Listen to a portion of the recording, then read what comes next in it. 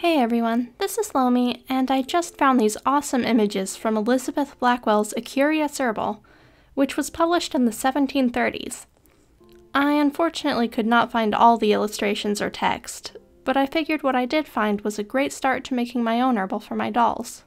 Since Faral is a healer and Laylee is an alchemist, I figured it was a great prop to try. I compiled some of the images onto these double-sided pages, which I'll cut out and use for my very first attempt at making a hardcover book. Since I didn't know how I wanted to group these, or how this project was going to turn out, I didn't take the time to organize the pages in the way they appear in the original book. Instead, they're just sort of tossed in at random. I may eventually try to track down the rest of the pages to recreate the real thing, but this is a good practice run. The first step is cutting out all the pages. They'll be folded in half and stacked to make signatures, which are the individual bundles of pages that go into the book block.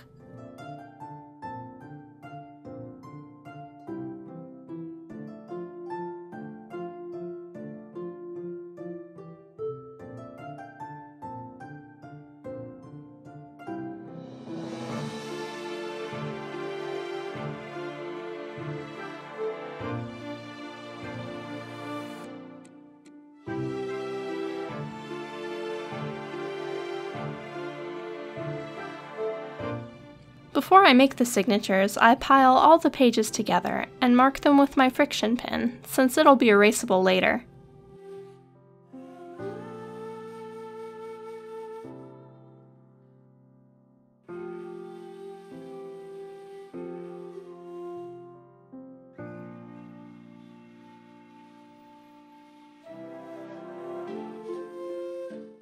Then I poke the holes for the thread, I've read that this is usually done with an awl, but in this scale, using a needle and thimble seems to be working better for me.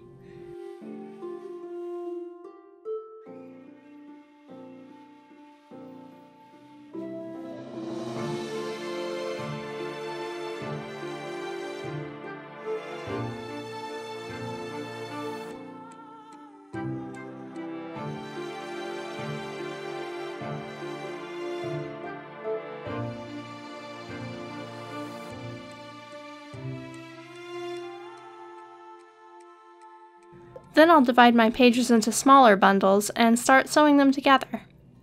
From what I understand, you'd usually want to use waxed thread for this. For one thing, it's thicker and easier to knot. I only have flimsy sewing thread, and I'm still on my craft supply ban, so I have to make do with it.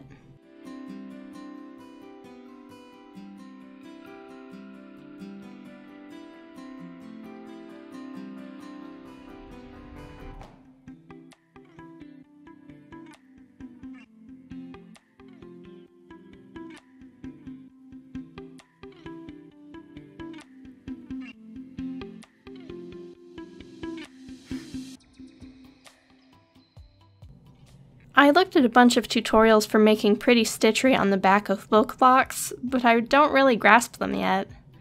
I'll need time to learn the correct patterns for stitching these pieces together. How to make my crisscrossing threads lay nicely, how to attach a new thread when I run out. There's a lot to figure out really, and right now I'm pretty lost.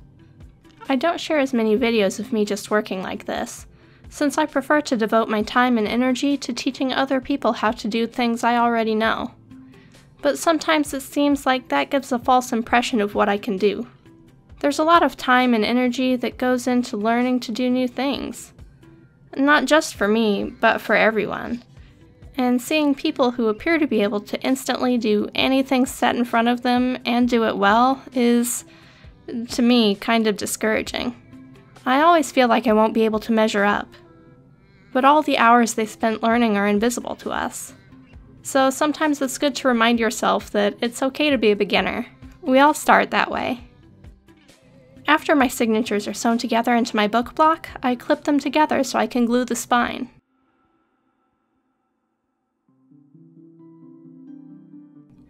If you've done this before, you've already seen one big mistake I made that I didn't notice until this step.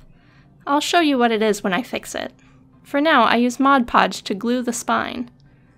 From my understanding, you're also supposed to put a piece of mesh or canvas over the spine to help glue it into the binding. But I didn't have anything thin enough, so hopefully I can get away with not using it. I don't think it'll make a big difference for something doll-sized. But I'll try to get proper supplies next time I make something like this, since by that point my craft supply ban will be up.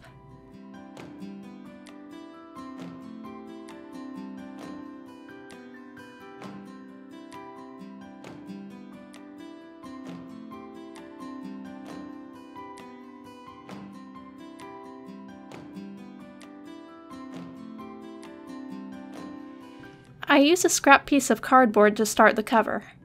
I make this a little bit bigger than my pages, so there will be about a 1 8th of an inch gap on all sides of the paper.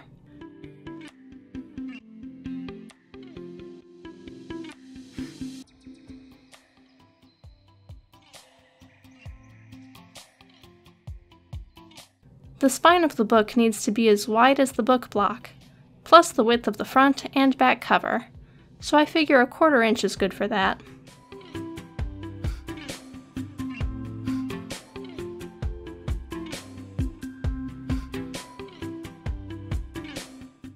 I cut out all the pieces with a razor blade.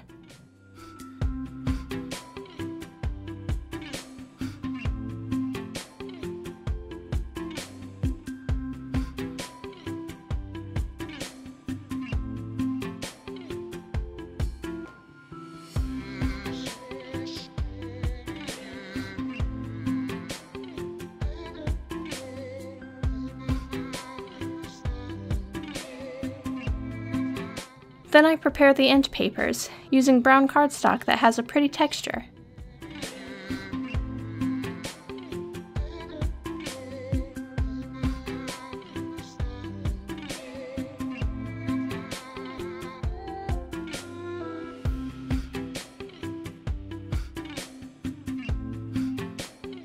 Measure twice, cut once, maybe measure two or three times. I don't have a lot of this paper. These are what go on the inside of the front and back cover, and they also attach to the book block to help hold the pages in place. In my book, this is all that's going to be holding the pages in place, which is why I decided to use something a little heavier. They look really nice, and I think they'll look good with the color I picked for the cover. But these are exactly what I forgot about when I was printing my pages. The end papers get glued onto the outermost pages of the book block, and mine have things printed on them. I'd lose my text and my little page for notes if I glued these to the block. So I'll try to fix it by adding a few extra pages at the front and back of my book block.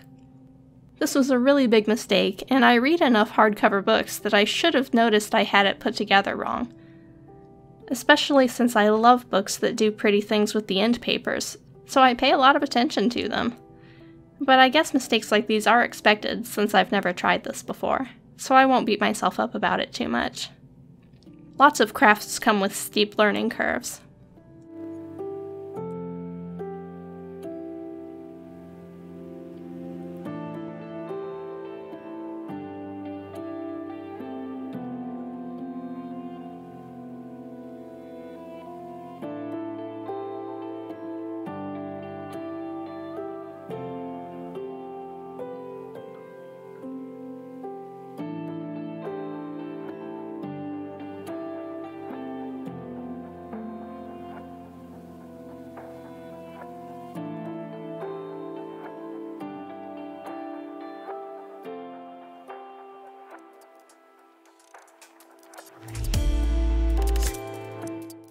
For the cover of my book, I picked some dark blue suede fabric.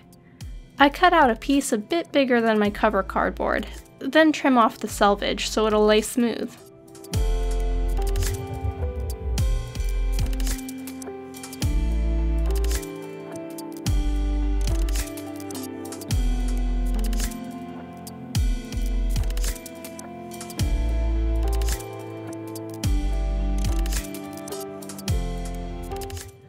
Make sure these fit nicely before I glue anything down, but then I glue the cardboard to the fabric using more Mod Podge. I leave a gap between the spine piece and the cover pieces that's a little wider than the cover pieces are thick. This is some pretty heavy duty cardboard, so I want to make sure it can close.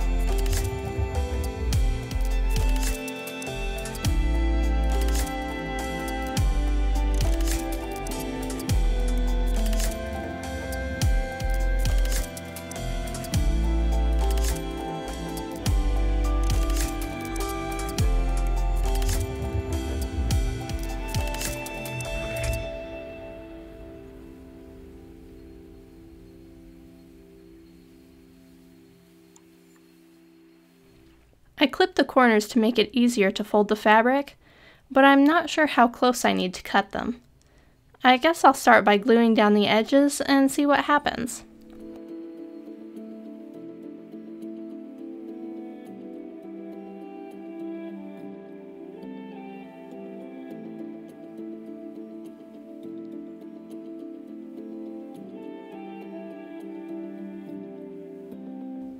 It's surprisingly hard to get the fabric to stick. Maybe next time I'll use a stronger adhesive.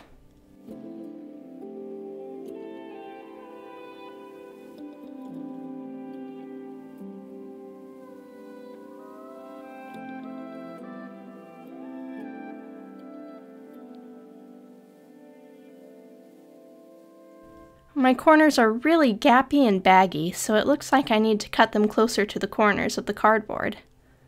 Of course, that ends up not being quite right either, because then the fabric doesn't overlap. More learning curves, I guess. No going back now. I think this happened because I forgot to account for the thickness of the cardboard. Silly mistake. I glue my end papers to the sides of the block, then spread a whole lot of glue on the inside of the cover. And on the end papers too, because that will let me slide the block around to get the best fit.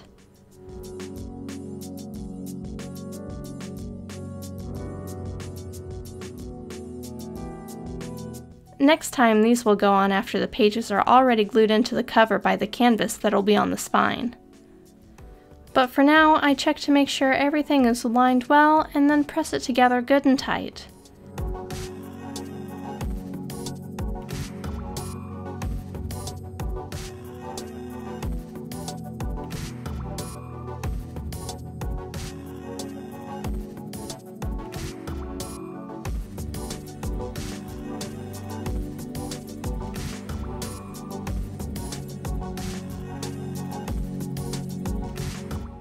I clip it so it can dry for a bit.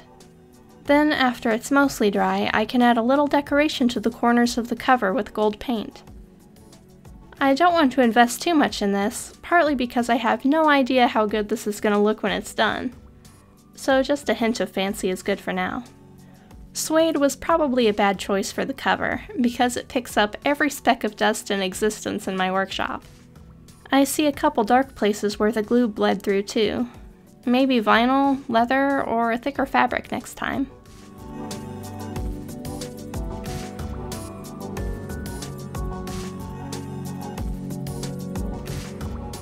And here we go, my finished book.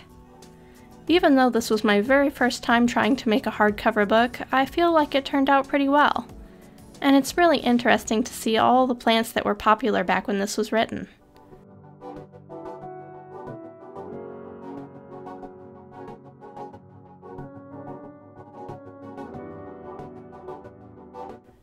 I have some of these in my garden out back, but I use them for cooking.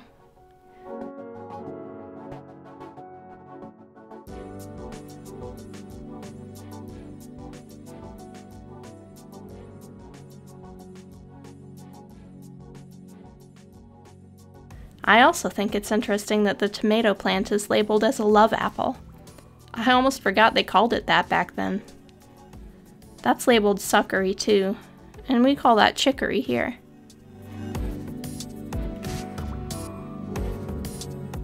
I'm pretty sure this one on the left is a carnation, but it says clove July flower.